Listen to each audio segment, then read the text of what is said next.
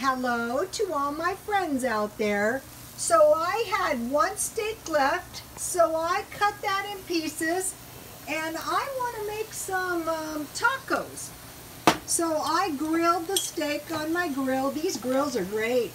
And I just want a little, a little salsa. And I'm just going to have salsa and meat.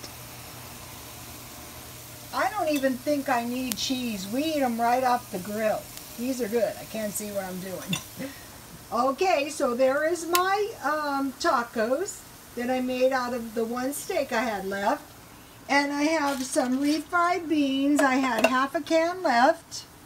And then I just reheated my enchiladas. So life is easy at my house. Just leftovers tonight. And these are pretty good.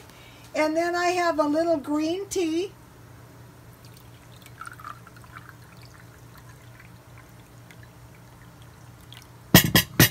And uh, a little sugar.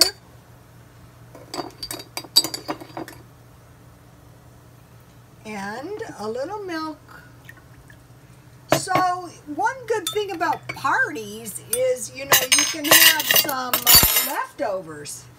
So here's another shot of my leftover, um, I save everything. I just threw it back in the pan.